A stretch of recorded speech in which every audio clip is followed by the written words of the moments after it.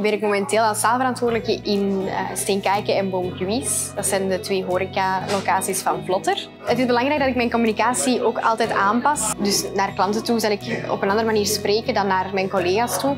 Zodat ik ook iedereen mij kan verstaan. Als ik iemand een opdracht geef of ik geef een uitleg, dan is het belangrijk dat um, ja, ik spreek op een niveau dat personeel hier kan verstaan. Het is belangrijk dat wij er ook voor zorgen dat iedereen zich thuis voelt, zich welkom voelt en niet ongemakkelijk of zo. En dat vind ik ook een heel leuk deel van de job. Mijn belangrijkste taken is de mensen kunnen aan het werk stellen op de juiste plaatsen. Dus we zien wat zijn hun capaciteiten en welke job geef ik aan die mensen. Dat dat zoveel mogelijk goed functioneerde. Dat is eigenlijk de taak. En dan ook zien dat je voor de klanten het juiste moment afwerkt en zo allemaal. Dat die vraaggeld moet dan af. Dan moeten we ook zorgen met de mensen die wij ter beschikking hebben dat dat afgeraakt. Je moet heel flexibel zijn in de verpakking. Naar de klant toe, terug voor de mensen ook. Dat er komt dikwijls wel druk bij en dan jobverandering en zo voor die mensen. Dat is altijd niet eenvoudig.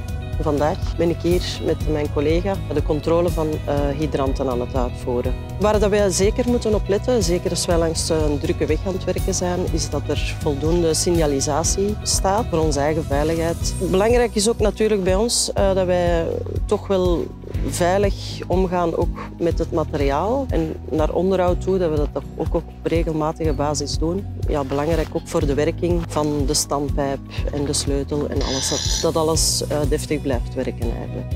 Op de fietsenafdeling wordt er tijd ingestoken om de juiste technieken aan te leren aan de maatwerker. Dat gaat in stapjes. De ene monteert er een stuur op, de andere de spatborden. In de fietsafdeling is het ook belangrijk dat je goed kan organiseren, zodat we ook de juiste mensen op de juiste plaats kunnen zetten in het proces van het voltooien van de fiets. Als werkvloerbegeleider is het belangrijk om uh, de administratie goed bij te houden. Uh, dat is een essentieel onderdeel van ons werk.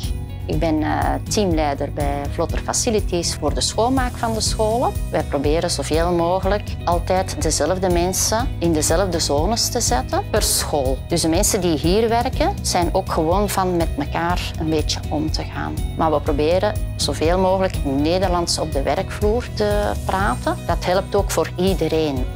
Maatwerk is een maatwerkbedrijf. Wij stellen mensen te werk die een, om verschillende redenen een afstand hebben tot de arbeidsmarkt. Wij bieden voor hen een volwaardige job aan in productie of in dienstverlenende activiteiten. En wij zorgen dat zij die job goed kunnen uitvoeren door hen te ondersteunen via werkvloerbegeleiding. Wij zijn op zoek naar werkvloerbegeleiders, versterking van onze ploegen uh, in heel wat verschillende afdelingen. Mensen kunnen solliciteren via onze website www.vlotter.be.